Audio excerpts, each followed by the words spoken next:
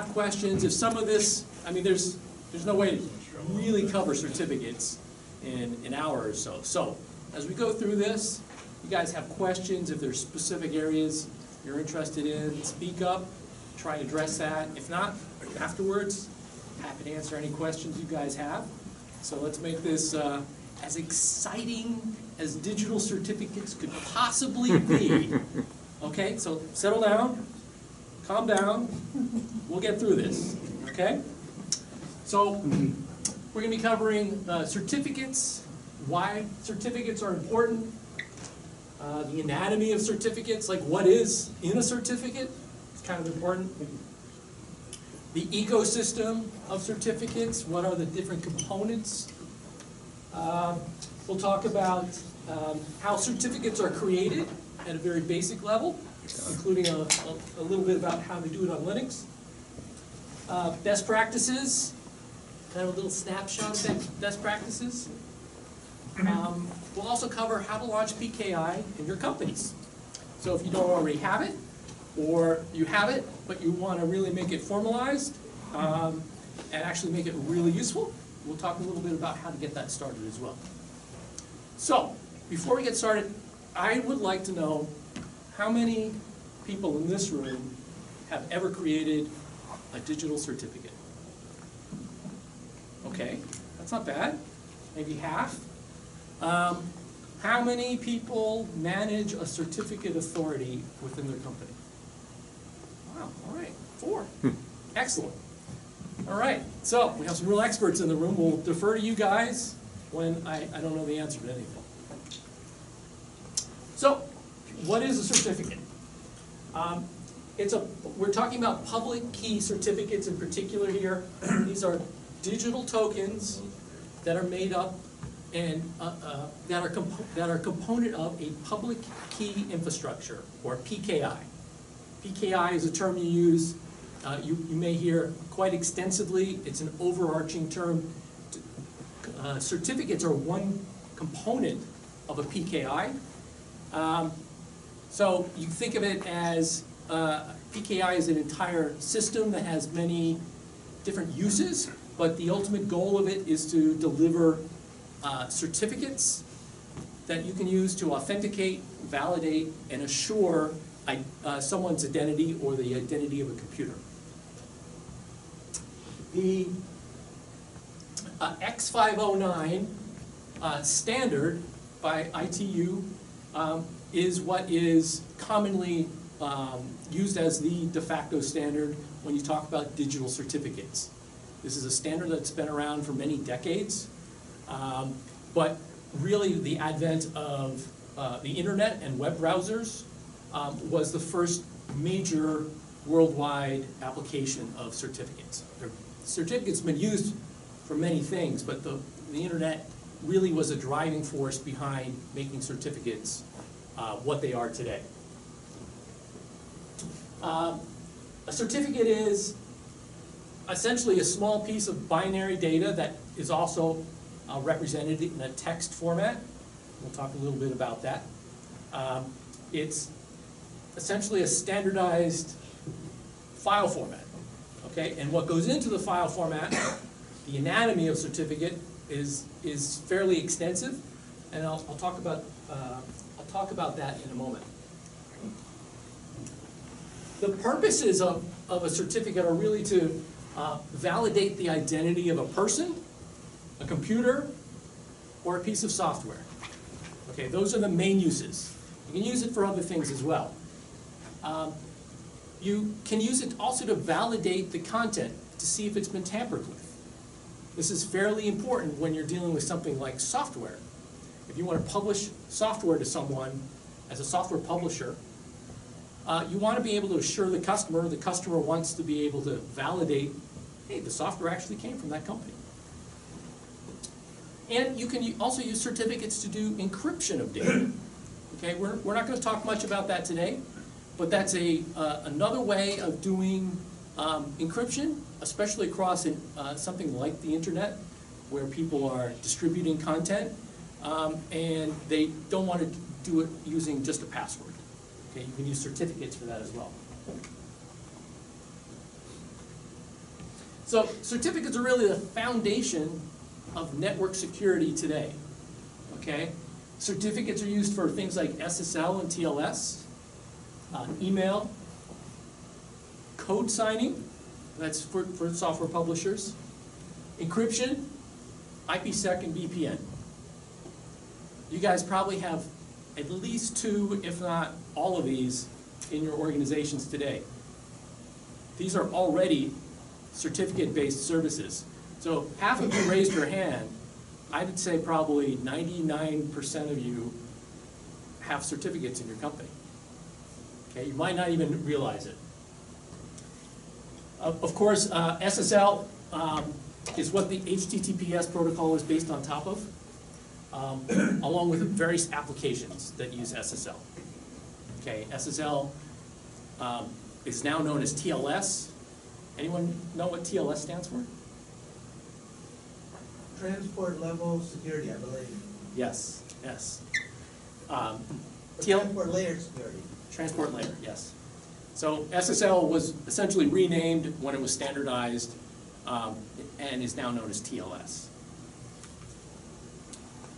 All right, so why are certificates important? Why am I here?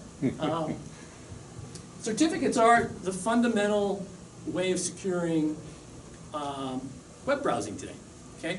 Well, whenever you go to an HTTPS website, you're getting a certificate from that website. Your traffic between you, your browser and that site is encrypted using TLS, okay? Um, It's the, the, the main way that you can protect your privacy and your customers can be protected when communicating, okay? This is both uh, for commercial and for privacy reasons. Obviously, if you're dealing with an application and you want to secure communications over a network, you want it to be encrypted. Email is also uh, used extensively, well, not extensively yet, but email communications from a transport layer, when it trans, um, when email is transmitted between servers, is usually sent over TLS and therefore encrypted, okay, with certificates. Email you read in your mailbox, ninety-nine percent of that, it's not encrypted, okay? There are ways of securing your email so that you can validate that the person who sent the message really sent it. And you can either, you can go further to validate the content hasn't been tampered with. Okay, that's all done using certificates as well. But those, that use in email clients is not very widespread because distributing and creating certificates is still very difficult to, at the consumer level and at a company-to-company level. So, why are software, why are certificates important?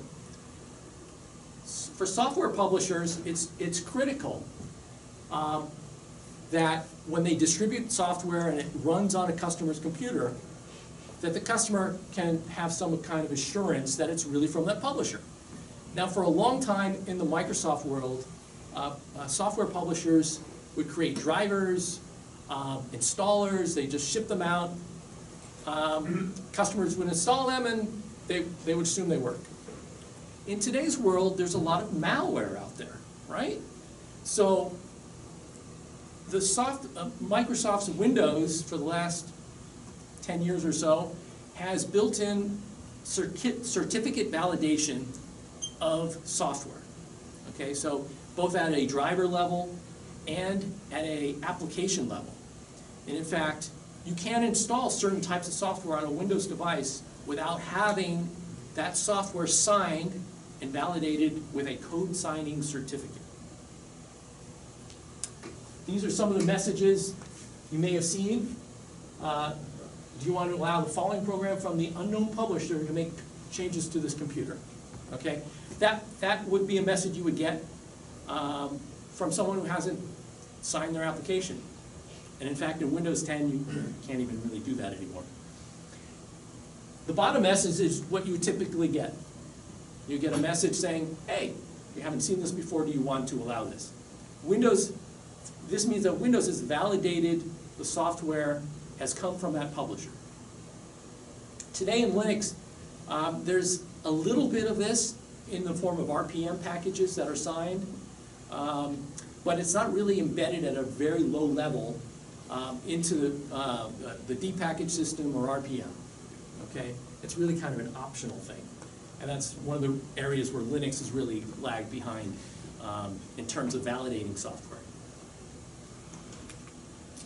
So in enterprise IT systems, certificates are really important when you have internal websites, right? How many people have internal websites in their company? How many of you know that you are using HTTPS? Yeah. So most of you, that's good. You know, most companies, when they build their internal networks these days, they assume that, you know, some bad guys might get into their networks. You know, having internal websites use SSL is really important because it prevents people from snooping, intercepting, and tampering with traffic. Okay? It's very, very difficult to do any of those things when you're using certificates and HTTPS properly. There's lots of ways to use it improperly and think that you're secure. Um, and that's where, you know, having a good PKI practice is, is really important. Um, email validation, I talked a little bit about this earlier. Inside individual companies, it is fairly straightforward to create and distribute certificates for email that are placed in email applications.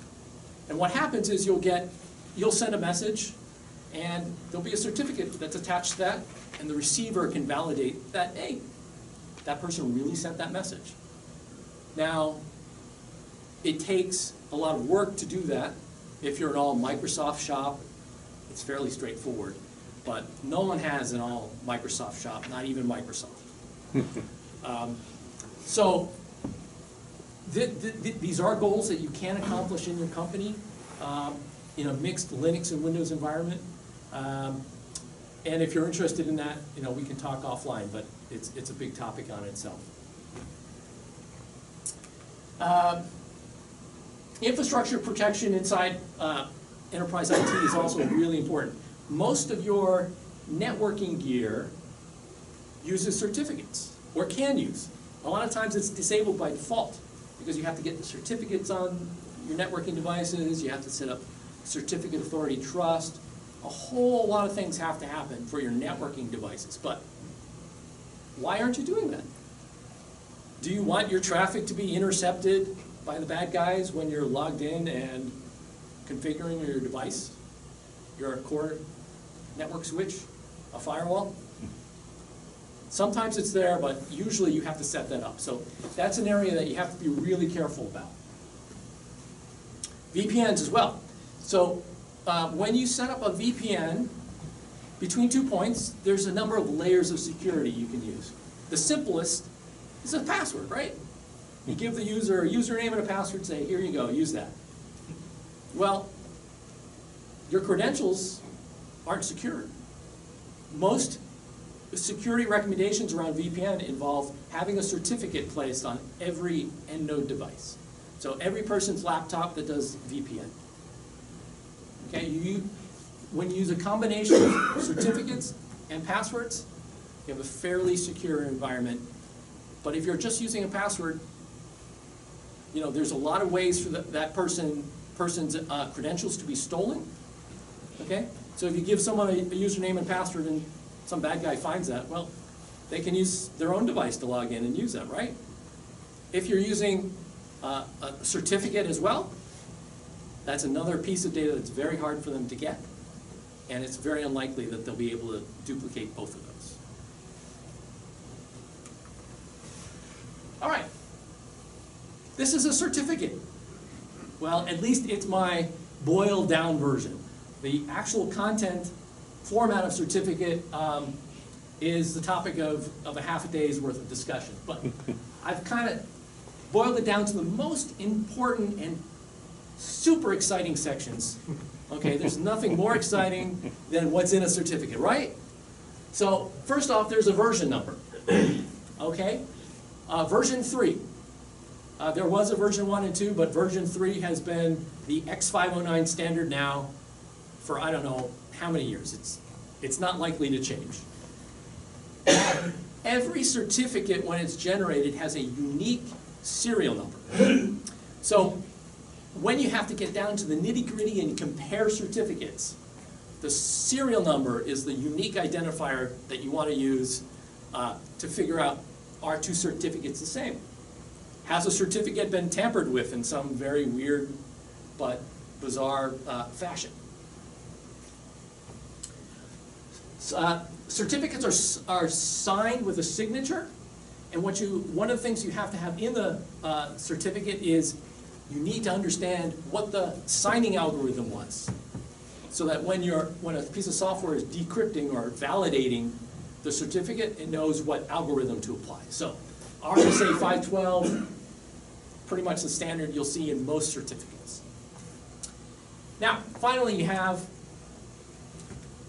the uh, issuer name, and this is the uh, certificate authority, which I'll talk about a little later, that issued this certificate, okay?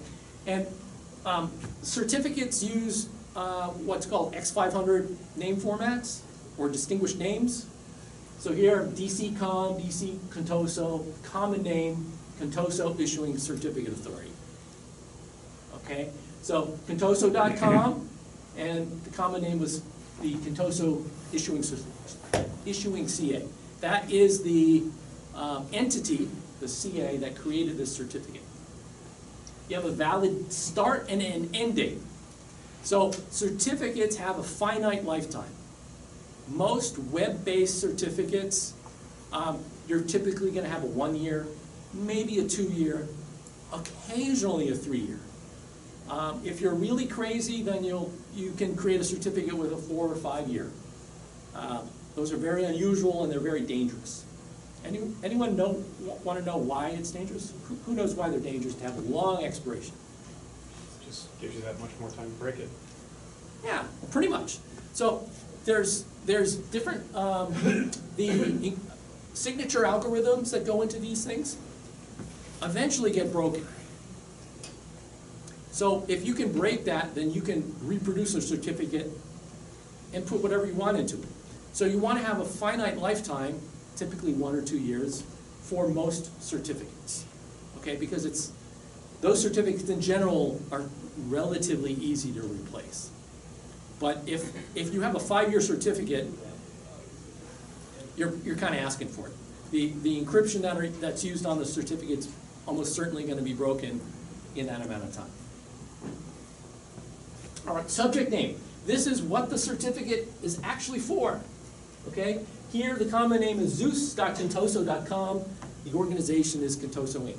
So this is really, um, this certificate is for a computer called zeus.contoso.com. That is what, um, uh, that is what identifies this certificate. What is the purpose of the certificate? Okay? It would be placed on the zeus.contoso.com server and and that's what it would provide. That's the identity of the certificate. There's also a public key. Um, the public key is actually what, what is typically, uh, uh, broken. Um, the, the, the public key will identify the algorithm, RSA. Who knows what RSA stands for? You guys probably all heard it, but who knows what it stands for? Uh, if I got the names right, Ribus, uh, Shaner, and Hank. It's the three, uh, professors that, uh, took the, um, uh, Diffie-Hellman and the, uh, one time, not one time, the- the IDEA algorithm and combined it into the one Chinese, um, arithmetic test. Exactly. Yes, yes. It's named after the three original creators of the algorithm. Um, There are extensions galore for certificates, many, many extensions, and this is why this, this format, this file will probably never change, or not in my lifetime, is because the extensions are extendable. You can add whatever um, uh, new future extensions you want. very important, two of them are the extended key usage. Okay, this says, this is the type of certificate. Remember I said there are certificates for web servers, code signing, email, all sorts of things.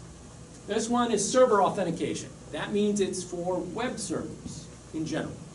It can also be used for applications, but when you go to a HTTPS website, the, the is a server authentication certificate.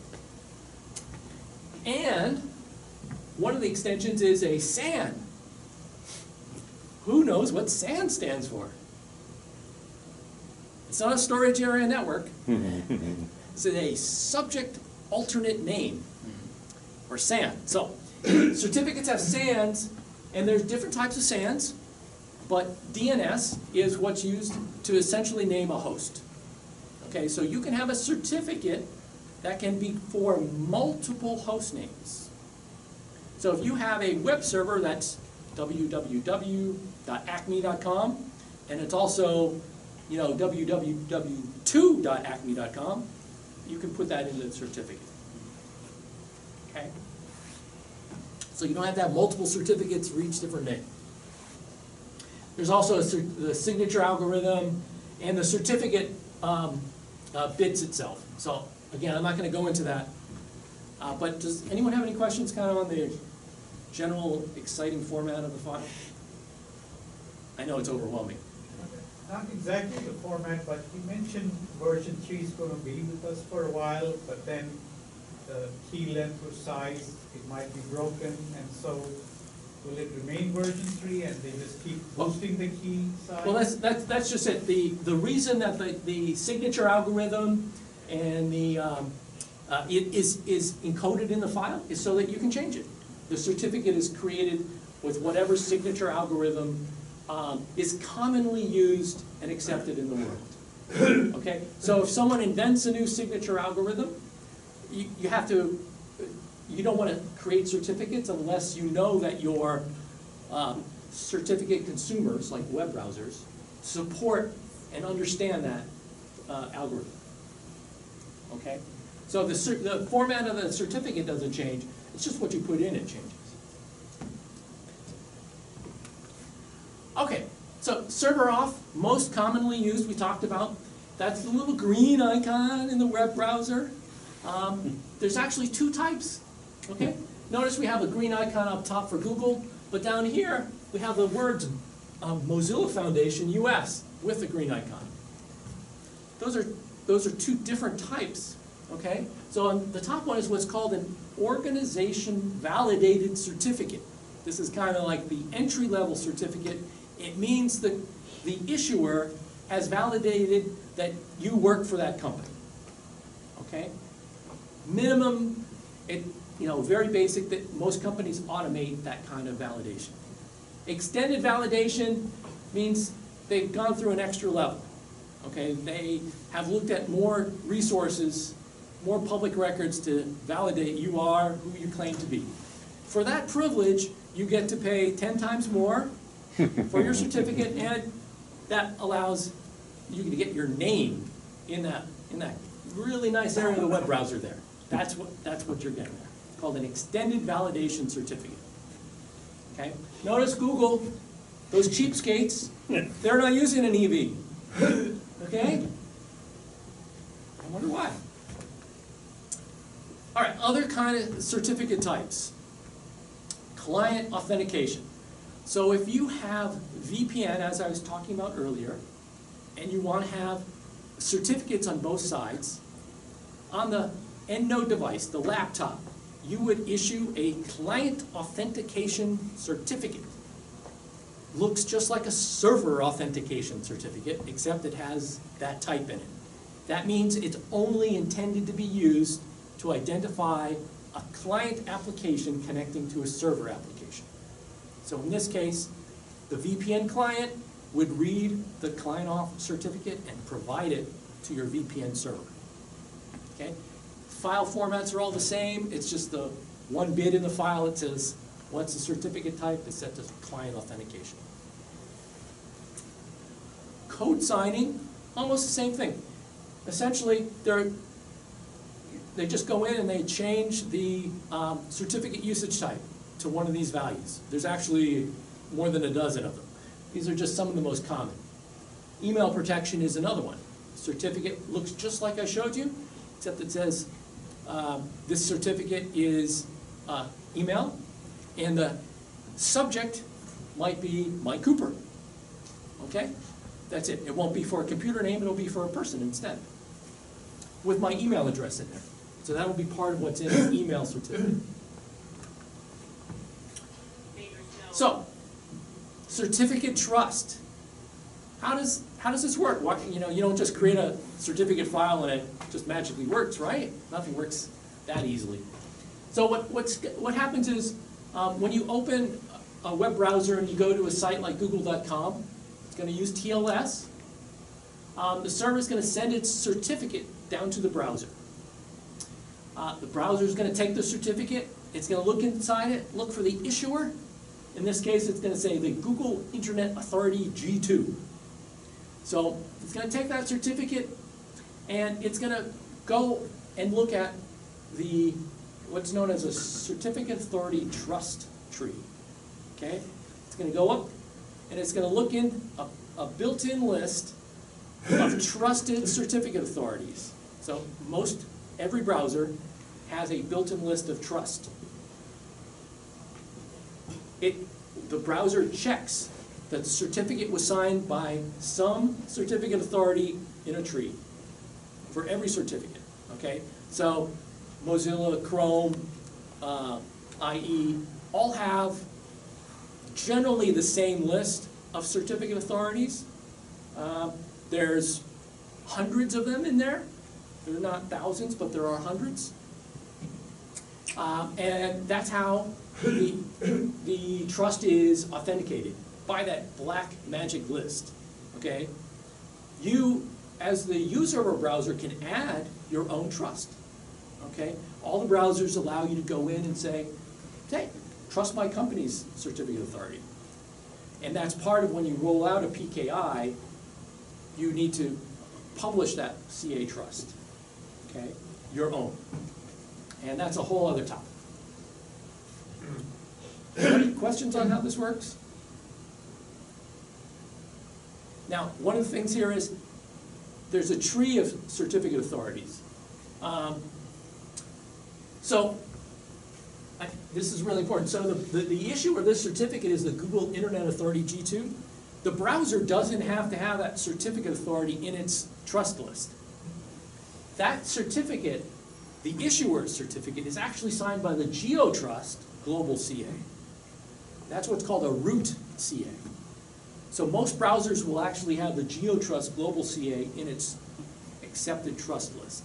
They won't have the Google Internet one. The browsers do chaining to validate the certificates.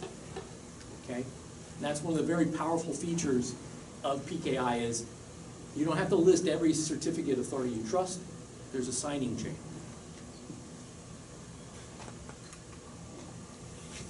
All right, so I've used a bunch of terms here, because I gotta say something to start with. So let's talk about some of the things we haven't, I, I mentioned it, but really haven't talked about what they are. So, everything really starts with subject entities. Okay, this is a computer, like a web server, or it's a person who wants to validate their email address. Okay? Um, certificate consumers are things like web browsers or applications that need certificates to read and validate things. The certificate authorities are the entities that create certificates. Okay? This is specialized software.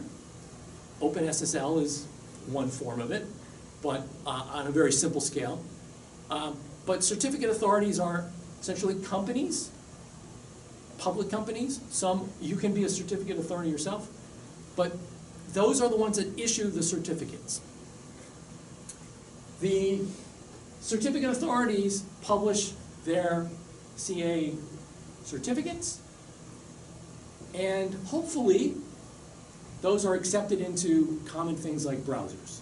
Okay, now, if you are launching a PKI into your company, you are unlikely to get your CA published as a accepted, trusted list into, say, Chrome.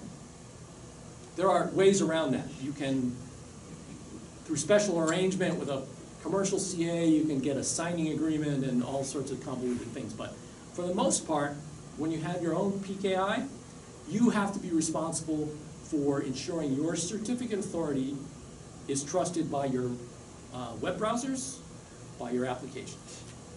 Okay? Now, I, public and private keys are, are, are another topic, uh, good for many hours of super exciting and uplifting entertainment.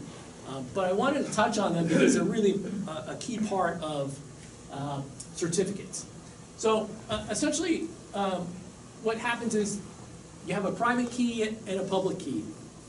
The public key, uh, these are generated, um, uh, using certain algorithms. And the public key is what you publish and give away, and the private key is what you use to sign a file. Certificate file, or perhaps a, uh, you're, you're encrypting a file, you use your private key to do that. The public key is what someone can use to validate that the document they have received, the file they've received, matches. Okay, so certificates have a strong dependency on public and private keys because the certificates are created with a private key and then they're validated with the public key.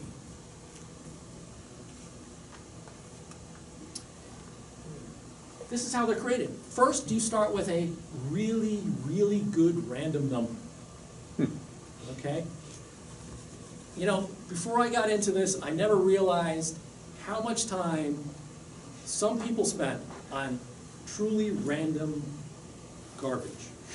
Because really good random garbage is gold. Okay? Um, most computers can generate a random number, but in many cases, it can be guessed with the right computing hardware. So, um, over time, the algorithms used to create these random numbers change. And this is one of the things we were talking about earlier, where um, uh, certain algorithms become susceptible to being guessed. So, randomness is really important, and in many companies, uh, private keys are generated by dedicated hardware modules that um, have proprietary um, generation algorithms and are very hard to guess, and they're also very hard to get into. Okay, you never want to give away access to a private key. It's very important. Once some, an attacker has access to a private key, that key is, is, is compromised. Anything that's signed by it can be reproduced maliciously. So it's really important. Um, so keys have an algorithm and a key size. RSA is the most commonly used in the world, and there are different key sizes. So um, it used to be that 512 bits was, wow, super secure. That was a long time ago. Um, today, uh, 2048 is kind of the, the standard today. Most web browsers will reject any, uh, anything like 1024 or less. 1024 RSA or less is considered insecure. 20, uh, 4096 is the next level up. Um, there's no definition beyond that. You will see some 4096 keys. The downside to these larger keys, the size grows, okay? RSA is not a very compact format for keys. So, um, people doing IoT stuff, um, don't really like RSA because the key size is getting so large that these little tiny devices um, have very low bandwidth. So um, there's another um, algorithm called ECC, elliptical, crypt, uh, elliptical curve cryptography. It, it- has much smaller key sizes, um, and that's, that's one of the standards that's kind of emerging in the IoT area. is smaller key size means the certificates are smaller, which makes the transmissions um, a lot easier over really low bandwidth uh, links. Okay, so how do you create a certificate? How many people here have created them? I, I get about half, right? How many people have done it on Linux? OpenSSL? Yeah, anyone not using OpenSSL to create a certificate? What did you use? We've also used uh, PGP and a couple of proprietary algorithms, and of course Diffie-Hellman all the time. Okay, all right. Well, I'm curious to know what uh, Amazon Web Services is using for theirs. Okay, so uh, Amazon, on AWS, they have developed their entirely own certificate authority infrastructure with their own APIs. Okay? Um, If you're someone like Amazon, you can do that. Uh, There are a ton of public certificate authorities out there that each use their own developed uh, certificate generation. It's, it's not, it's not rocket scientists to, to make certificates, okay? It, it's, it's, it's really not. And my company actually does make certificates, that's something else. Um, so, here's, the basic process is the, uh, subject entity, let's say you wanna create a, a certificate for a web server. You as a user use something like OpenSSL to create a certificate signing request, a CSR. Very exciting file.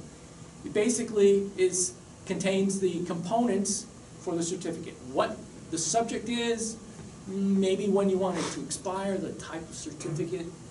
Um, You sign it with your private key. You take that, and you hand the CSR off to a certificate authority. How you do that varies tremendously. If you're getting a certificate, say, from uh, VeriSign, you'd upload it to their website, you'd give them the CSR, or you, you could even skip the CSR site.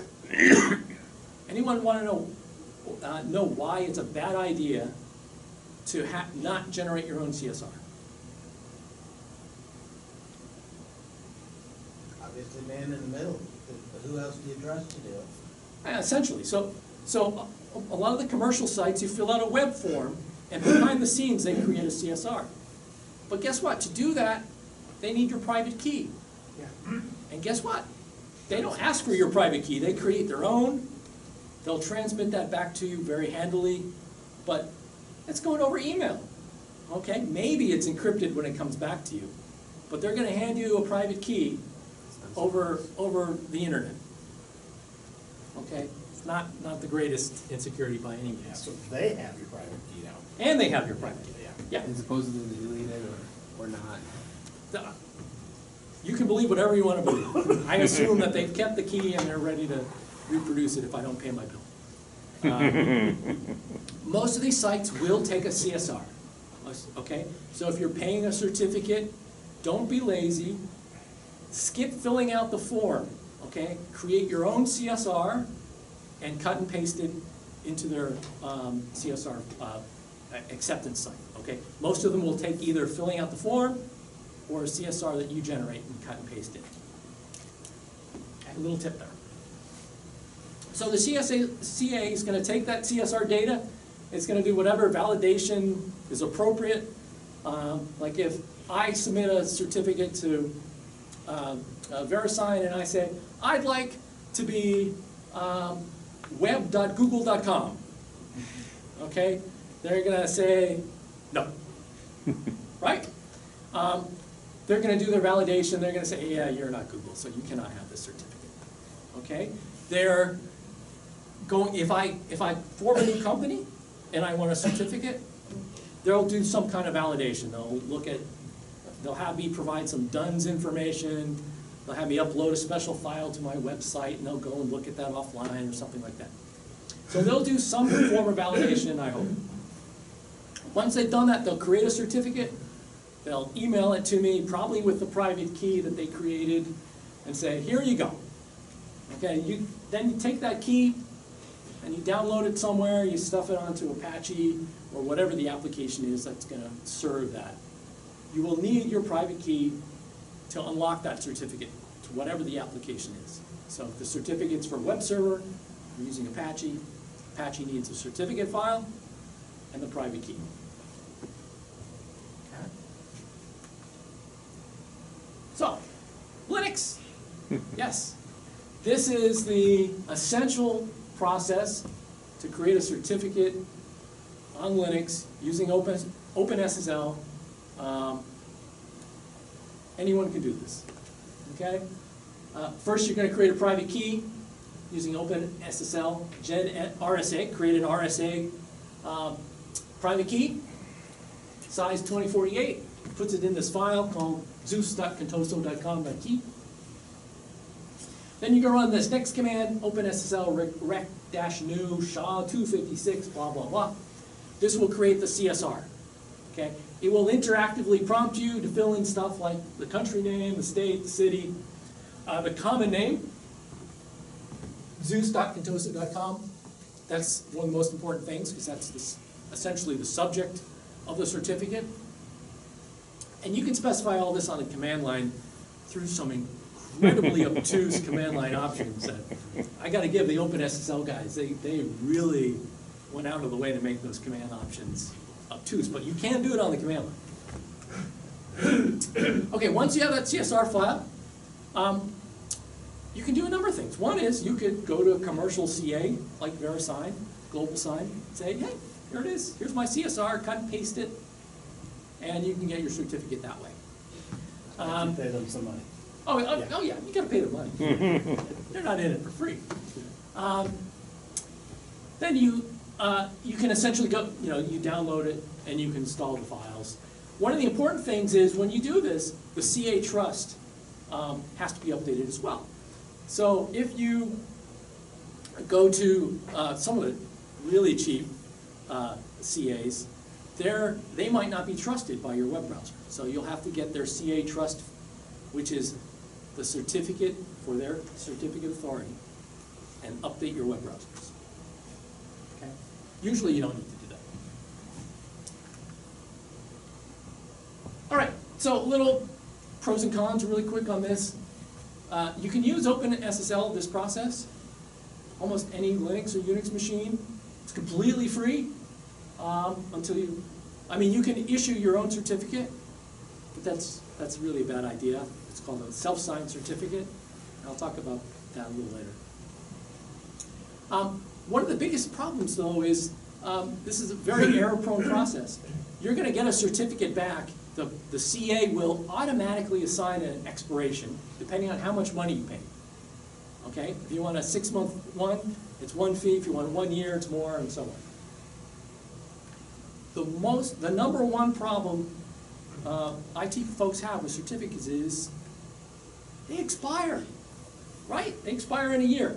How many people remember to go and renew your certificates before they expire?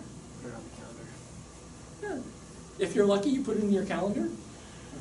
What if, what if, uh, you know, you're out skiing when that certificate expires in a year? Well, I usually have it several months in advance. Okay, you're more organized than many.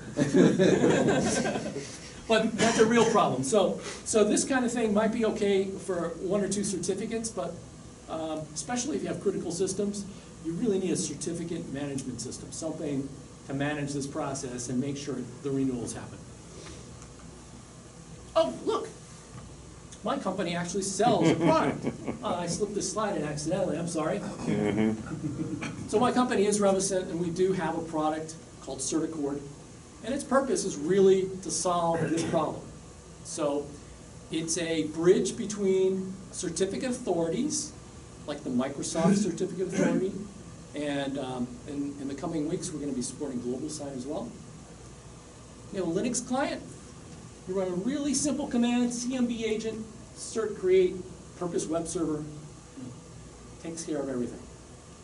Okay, creates a certificate, comes back, installs it, it will renew it for you. So you don't have to put it in your calendar. Okay, it does a lot more than that too, but um, CertAccord is a system that also automates all of the key generation. Always keeps the key on the local system, very secure. Um, and it means you're not gonna forget things. Okay? So thank you for your patience. I to that one. Yeah, I wonder how quick it is. Can I put it into a system that automatically generates virtual machines and Yes. Docker, okay. Yep, it's very easy to install. Uh, we have a central, management console. And this single command, you can stuff into your, your Docker build or whatever to create a certificate. It's, it's very straightforward. All right. So, self-signed certificates, don't use them, okay? What's the point of a certificate? Authentication. authentication to validate that this is who it says it is, right? Who can, who can tell me what a self-signed certificate is? Yourself. Right, a certificate you create yourself. So how does someone else in your company know that that certificate you created yourself, only you created? It's in my handwriting. All right, yeah, I put a, put the password Because into I a said so, certificate, yeah, right? right? That only works briefly. It's a real dead end, okay? Um, self-signed certificates kind of defeat the purpose. It gets around some of the warnings. And in fact, in most web browsers now, they've gone from giving you a little warning saying, oh, it's self-signed, it's, it's not validated. Chrome now, it won't even let you go to that page. Some versions, it, you can go through some menus to get there, but in most cases now, you can't even get there. So self-signed certificates uh, might be a, a good, quick way to test something out, but long-term, it's, it's not a really good uh, solution. Completely gives a false sense of security. Okay, you might see the little green icon up there, but it's not secure. It's, it's really not. What about routers that uh, self-sign their certificates, you know, for the management console? Yeah, that's still common. Um, again, most of the, the enterprise grade ones, you can put in your, um, own CA generated certificates, um, with the CA trust of your enterprise, and you won't have that problem. But by default, they're gonna ship oftentimes, um, with a self-signed certificate, especially the lower end ones. Um, some of the higher end enterprise ones will, will, will ship with a certificate that's, that's been generated, that, you know, Cisco's paid for or whatnot. But in, in general, you have to issue your own. And that's part of having an enterprise PKI is, is to be able to do that. All right, some really brief best practices. Um, eliminate manual processes, okay? Again, if you have more than a couple certificates, okay, you're going to forget about them. You know, someone's gonna leave the company, someone new's gonna come along. They're like little time bombs, okay? Especially in any kind of medium to high use service. They're just waiting to one day, poof, VPN has stopped working. Hmm. Okay? That, in, that internal payroll application is, it can't communicate. There are no paychecks going on. Or if you have a, you know, an assembly line, that's even worse. Pick a management product, okay? You can spend a little bit to a massive amount of money on certificate management. Pick something. Don't just get by.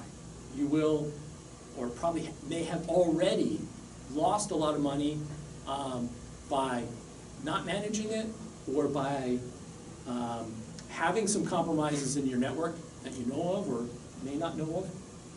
Be proactive. So, launching PKI, many of you already have it, but how many of you have um, actual staff dedicated to PKI? A few? Yeah? Yeah. Well, I hope there's a little more to it, because it's a very powerful um, thing to do in your company, and it adds a massive amount of additional security. It doesn't take an army to do this, but it does take some deliberate thought. So, one of the first things you have to do is you have to identify all the platforms that you, you need to do PKI on. Okay? Obviously, first thing to do is count, count up the Linux systems. They're the most important. Okay? Windows systems, yeah, I know, those are secondary, um, but still very important. Aside from that, there's quite a lot of other platforms. The networking devices we alluded to, Macs, Macs make quite a lot of use of certificates if they're configured to do so. Um, pretty much anything that connects to the network can have a certificate, and in many cases should. Okay? identifying your existing certificates. When you have a management system, when you're launching PKI, first thing you have to know of, you, you need to do some kind of inventory. And there's a number of ways you can do that. But an inventory is your first step towards understanding what you have and what your true PKI should be. Because you probably have a lot of certificates, if you haven't been managing them, they probably come from many different suppliers, they have different expirations, they have different, many of them may be compromised. They may use insecure signatures, okay, hashing algorithms. You obviously have to choose a good CA product. Um, You know, if you have a large Microsoft environment, the Microsoft ADCS is, is free, it's built into Windows. Um, And with certain products, like CertAccord, you can bridge that into Linux very easily. Okay? There are other very expensive products that will bridge onto Linux, um, and most of the Unixes as well. Those are, those are a different story. But there are many options to do this. Create a project plan. This is a real project. It's not a, oh, it'd be nice if we had this. If, if the, you, you know, um, my partner is also a, a, a consultant in this space, and he, he goes into Fortune five hundred companies all the time, where PKI is kind of an afterthought, where they've hired a contractor, he's put into place PKI, and- and guess what? They can't really change it. It doesn't grow with the company. Um, You really have to put some careful thought into your certificate authorities, the types of certificates, policies around those. If you don't, you could wind up having to touch every system in your enterprise multiple times. That is not fun. Uh, The CA hierarchy is one of the most fundamental things, okay? Um, the, there's root certificates and there's issuing certificates, issuing CAs. Um, remember, there's this tree of trust. A lot of companies make the mistake of they have one certificate authority for the entire company. The problem with that is if that certificate authority certificate becomes compromised, the only way of fixing that is to touch every device. So having a hierarchy is really, really important. So, we're just about at the end, so thank you for staying awake so far. Um, just want to summarize that, you know, X509 is, is, is a fundamental part of network security, whether it's internet, intranet, um, even offline uh, validation of files that you store on media and transmit. Um, don't ignore it. It can really be a huge benefit to your company when it's done properly. Um, it can add a lot of security, but if you don't do it right, if you don't pay attention to it, it can do the complete opposite. It can give um, malicious intruders the premise, the entry points, and the authority to represent your company in ways you cannot imagine. Okay, imagine someone who gets access to your code signing certificates and starts publishing software in your name. Okay, not a good thing. Or email. Um, take control and be proactive. I think I've said that about four times. I'll say it one more time. Automation is really important. Again, don't leave it just to calendaring, okay? I'm not picking on you. Um, I, I did the same thing for, for, for many years, and that's, you know, that's what you do when you start. And it's a good way to start. I'm not bashing that. Um, and plan. So, I will put up this one slide. If you guys have interest, um, we do have an, a three-day class that goes into this in a lot more detail.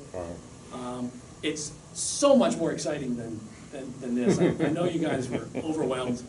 Um, if you're interested, you know, talk to me, I'll, I'll give you some more details. We do have a training class coming up, uh, in February in San Jose. It's a lot warmer, there's no snow, uh, so, uh, that's, um, I appreciate that. So if you do have any questions, I'd love to hear them. Yeah, So you're reissuing these certificates every so often, as you said, no more than every year. Typically though, do the, does the public and private key pair change at the same time?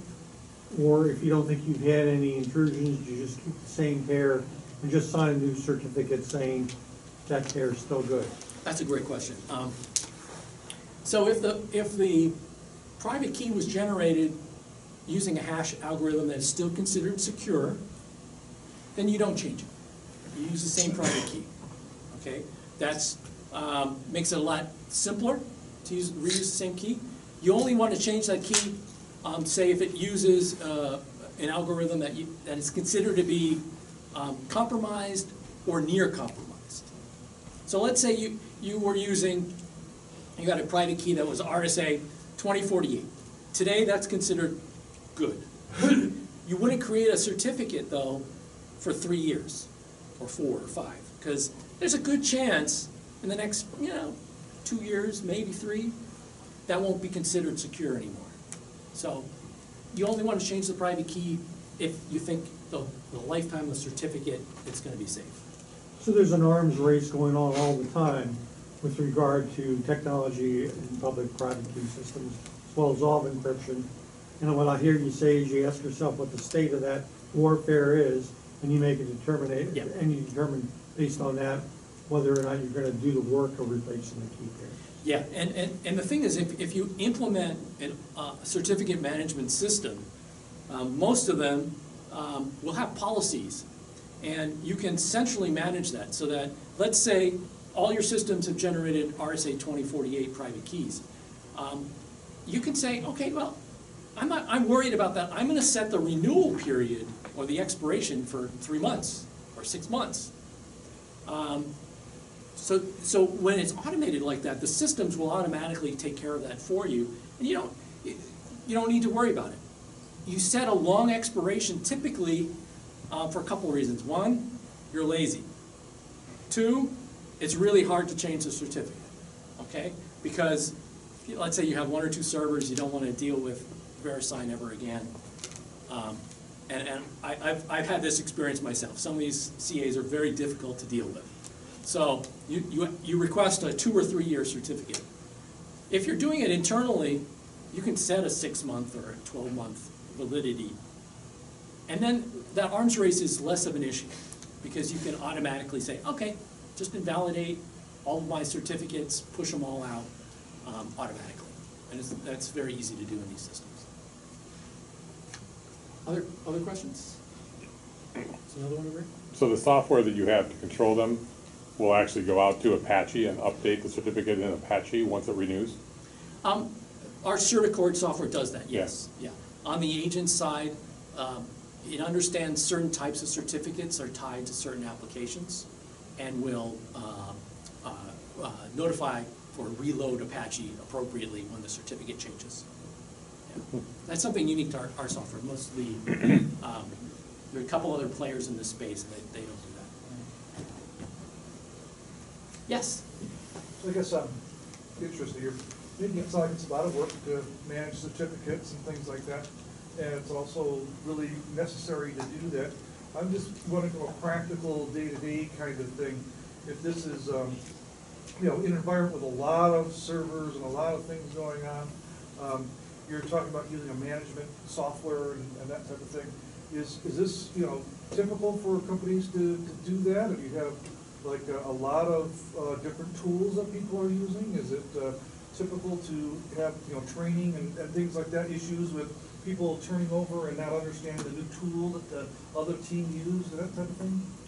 Yeah, there's, there's, there's quite a range. Um, most companies, uh, when they understand PKI, just make it part of their daily practice.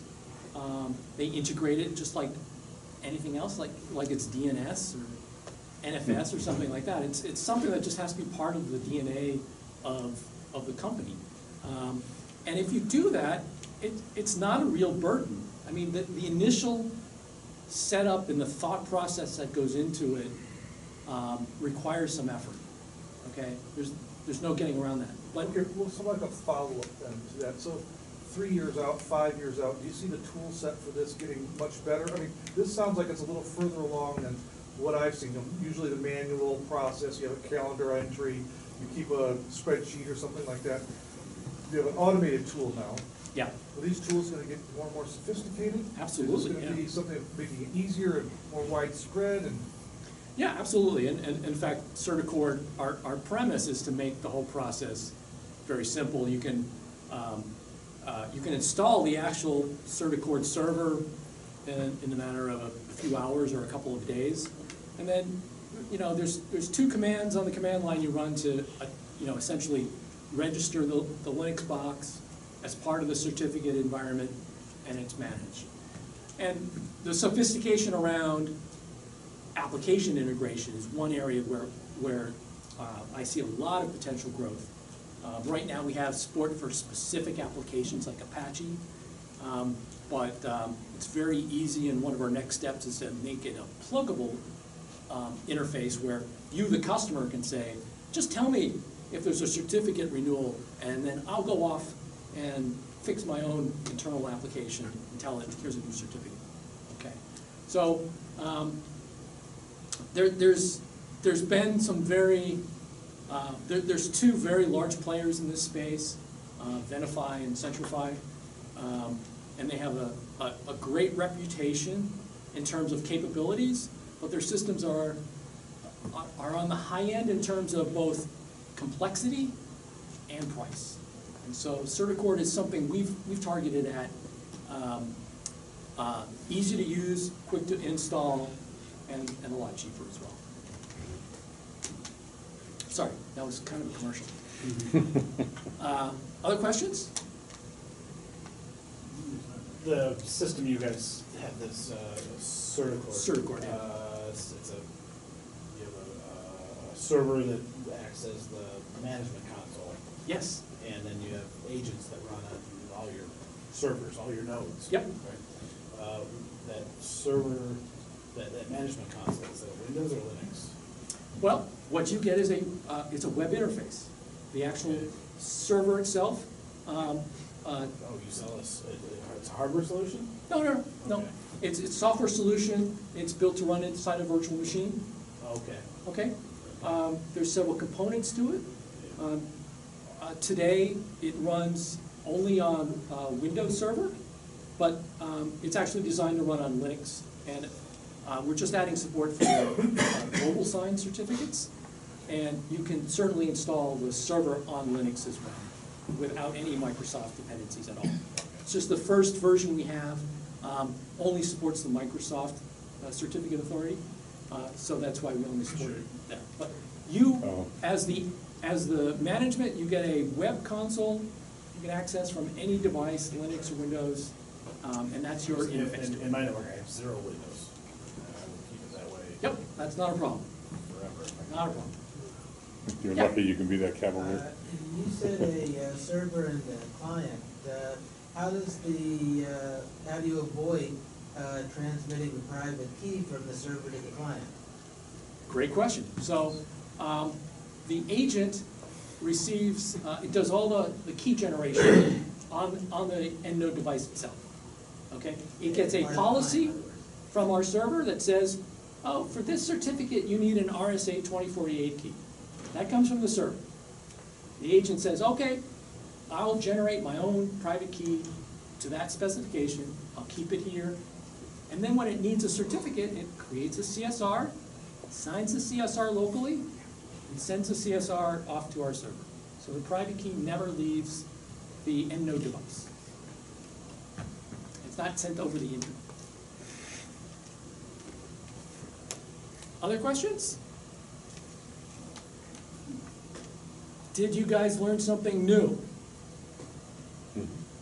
Yeah. You all stayed awake, that's good. No, you simplified a lot of the mystery. I mean, Excellent. yeah. It's, it's not, it's not rocket scientists, Mhm. science. And I'm not a rocket scientist. Yeah, So, um, I, I guess I'm trying to, again, get the practical understanding of how this works. So in your example there, you were running something and it was key- creating the key locally. You had to have access rights to the um, location that the key was placed, right? So in any case, I'm sure there's, you know, situations where more than one person would have root access to an environment. You're gonna have to lock down the key in some kind of, uh, folder somewhere, right? I mean, this is not gonna resolve that type of security issue. Yeah, correct. If you have multiple uh, root users, they're still gonna be able to read things. That's, this doesn't solve that. Um, The, you- we do deal with things like um, SE Linux. Um, A lot of the, uh, things like Apache um, use SE Linux file protections these days. So we do understand that level of file system access. But if you're a root user, you can, you can, you know, change SE Linux settings to your heart's content. Yeah. Yeah. There's no yeah. true ACLs. And on the Windows side, you know, we, uh, we do support ACLs, but that- that's not for this meeting. Were you guys offended that I, I, I I mentioned Microsoft and Windows? No, not at all. No, many of us have to deal with, We have, yeah, we have to live there. we coexist. It's a fact of life, right? Yeah, We tolerate, yeah. we have to. Y- You know, the fundamental thing is PKI on the Windows side has been baked into Windows since um, the early days, like 15, 20 years worth. Um, And in fact, the agents in Windows support distribution of certificates automatically today. So in a Microsoft environment, you can push out uh, certificates and CA trust information from Active Directory to every Windows device in the entire enterprise. Um, It's, it's, it is free, um, but you have to know what you're doing to, to make it work right. And you can, with the right product, um, make it, it, it makes a very reasonable CA for, for the Linux side, if you don't have to deal with it directly. So your, your product is managing your own local CA? No. No, our product integrates, we use the Microsoft CA, and, and we're about to launch support for the Global Sign CAs. Okay. Okay, so we don't do our own CA. We're not in the CA business. We're in the business. Well, What I'm saying is, uh, uh, uh, um, for my internal use, I, I am a certificate authority for my network. Yeah. You don't provide that level of, uh, What, what do you use to create certificates? OpenSSL.